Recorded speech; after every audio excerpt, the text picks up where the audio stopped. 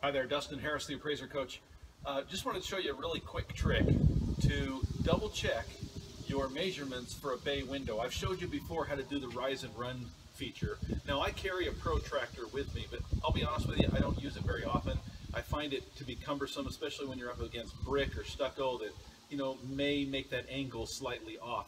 There's a fast and easy way, may not be completely and totally accurate, but it's really darn close and it'll probably well fit within your standards, whether you use ANSI or some other standards uh, as your measuring standards.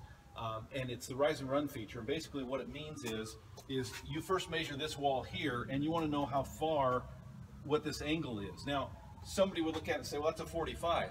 Well, maybe, maybe it's a 50, maybe it's a 40, maybe it's something close to a 45, but it may not be exactly what you think it is just eyeballing it.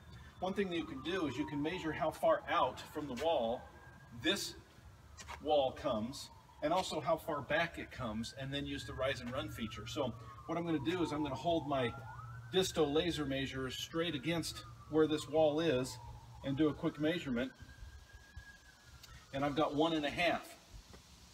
Then I'm going to take it and I'm going to abut it eyeballing right where the wall comes back and I'm going to measure it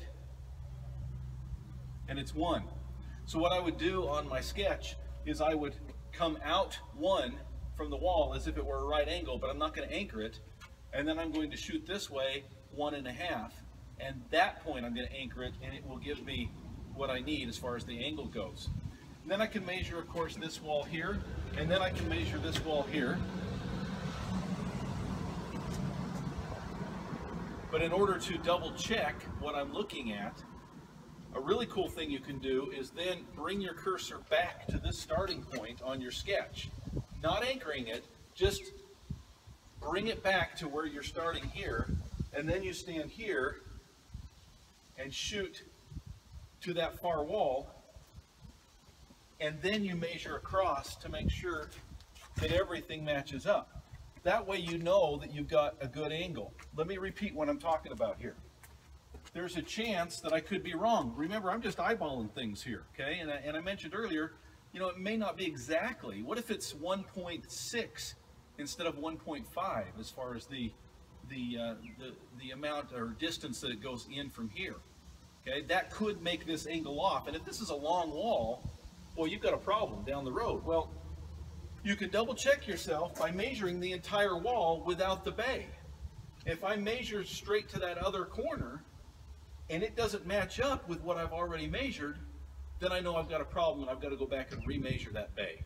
It's just a way to double check because when you're doing things by eyeball, chances are you're going to get it right. There is a chance you'll get it wrong. So always double check yourself because that could make a big difference in your square footage if you happen to get one angle incorrect. We'll see you next time.